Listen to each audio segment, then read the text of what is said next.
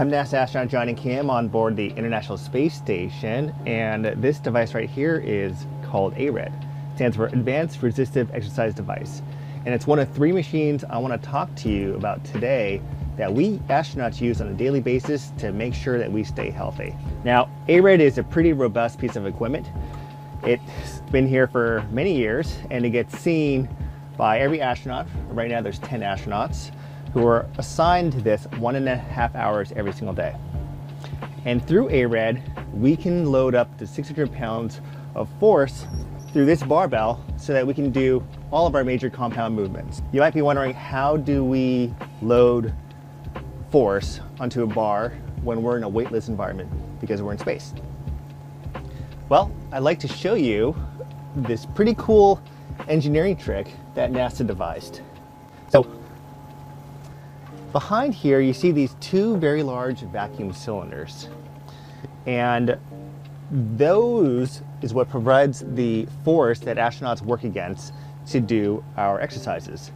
The best way to think about it is a syringe right here. I've got a 30 cc medical syringe and when it's completely open to the atmosphere, I can just open it or close it without really much resistance. But if I were to make it a vacuum inside by simply plugging up the hole and I pulled against it, you can see I have that suction, the plunger is wanting to get sucked back in because of gravity. That's what these two are operating on, just at a much larger scale. And then through um, some pretty clever engineering, we're able to change the leverage on our machine so that we can load anywhere from something as low as 10 pounds to as high as 600 pounds. I'm going to demonstrate some of the compound movements that we do to keep our bones and our muscles healthy. And uh, the first one is going to be, of course, our famous squat.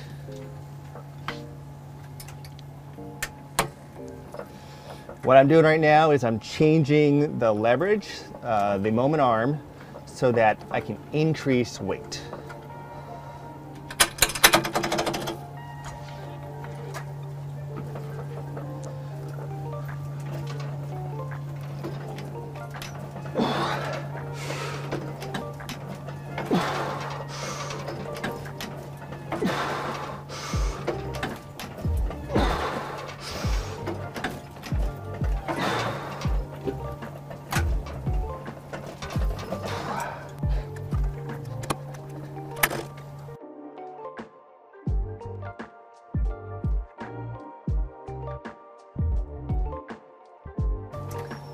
And that's how we do squats on A-RED.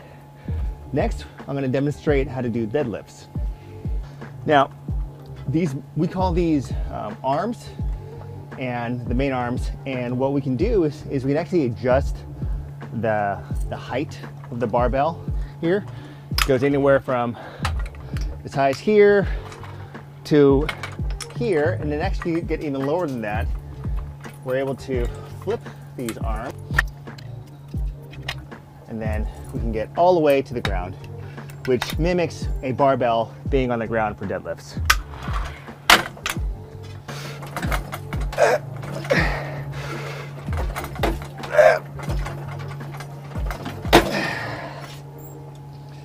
Next, we'll demonstrate shoulder presses.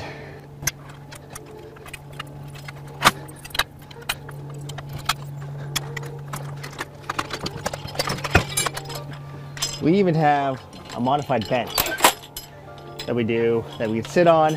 Uh, we can do sit-ups on here. We can do skull crushers, bench presses, and what I'm about to do is shoulder press. We have these little, um, I don't know what to say, maybe these little catches on the, on the bottom um, that have these holes on the bottom that they match to, so we can lock the bench in place. Otherwise, it would just float away.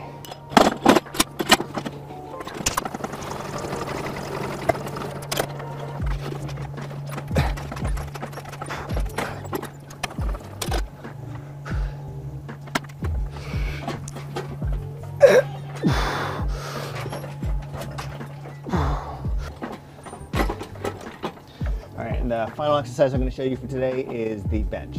bench press.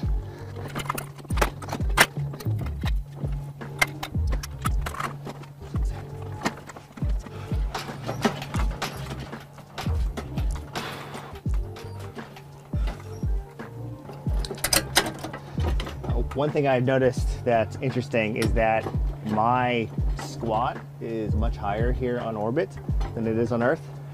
On one hand, I like to think that I'm stronger, but I think it's mostly due because I don't have to lift my own, the, my own body's weight. And so um, I'm typically 175, 180 pounds. And uh, so I'm probably not having to lift, I don't know, anywhere from 60 to 70% of that. And so uh, the numbers we get up here for certain exercises are higher than what we would normally get on the ground.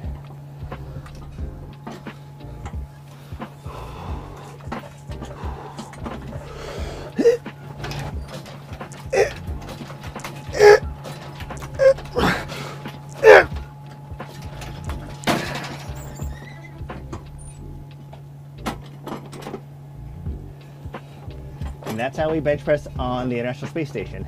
We also do other isolated exercises, not just compound movements. Those include curls, upright rows, heel raises, but the compound major movements are what are largely responsible for astronauts maintaining their bone and muscle.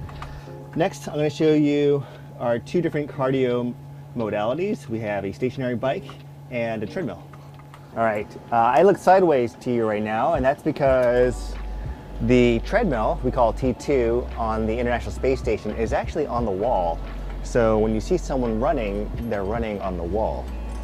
You might be wondering, in space, within a microgravity environment, how do we run? And the answer is with bungees.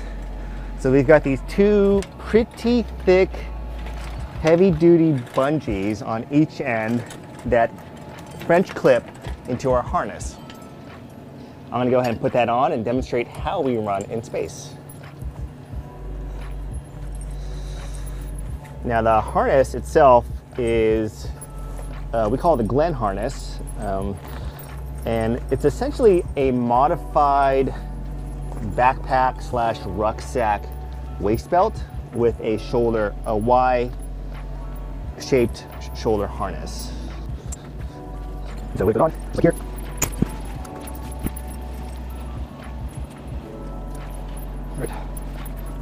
All right, so now I've got my harness on. Most of the, the tightness and the weight will go on my hips, just like a backpack should. And then I'm gonna French clip into these bungees. Right. So now I'm in place, and when I stand up, the bungees are pulling me against the treadmill. And so I'm, I guess, kind of feeling like I'm standing on Earth. I feel a little bit of weight it's not completely the same, but it's pretty good. Now running in space doesn't feel exactly like it does on the ground. You do have to modify your stride, your gait, but we make do with what we got. So the first thing is always a safety check, making sure that my equipment is configured properly. All right, once I've calibrated the system, we're gonna begin our run.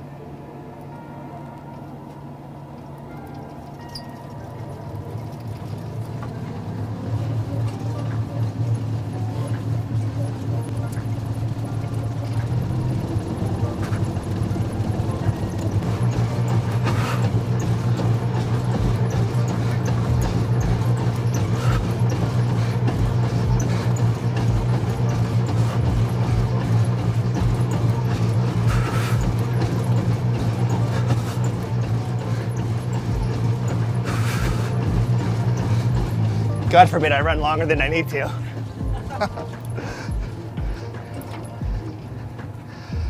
so at the end of our run, what's pretty cool is that we get this end of workout summary. I didn't run very far, but what I always like, I think is kind of uh, fun, is comparing how far I ran. It looks like I only ran a quarter mile, and in that time, the ISS traveled 685 miles. So that's a lot of distance. All right, next we're gonna show our last exercise modality, which is CEVIS. our stationary bike.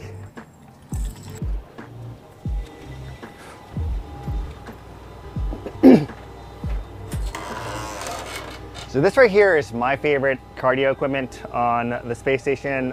I'd say when I'm on Earth, I like to run more, but in space, I like the stationary bike more. And we call this Cevis. And uh, it's a pretty exceptional piece of equipment. We also do our, our max VO2 test, which is a measure of our fitness. And uh, we do that on this machine right here. So it is capable of quite a bit of pain. Now, to uh, now, I'm not a biker by any means, um, but for this stationary bike, we can't just use regular pedals. I mean, I guess on a typical exercise bike, you might just have pedals that have a little strap over it to keep your feet in place. Um, over here, we actually have special bike shoes that we use to clip in. All right. And I like this little, this belt. Not everyone uses it, but I use this belt to kind of keep me in place so I don't float away. And once we've clipped in, we can throw our heart rate monitor on. I'll skip that for today. We log on into our profile and then we can just start a workout. Now, um, most of the workouts, a lot of the workouts are designed by our strength and conditioning coaches um, back at home in Houston. Uh, we can also run this in manual mode, which is what I'm doing right now. And I'm able to adjust the power measured in watts that I'm working against. This thing is pretty versatile. It can go, well, I'm, I've never been uh, good enough to go max this out, but I'm curious how far it goes. I guess 500.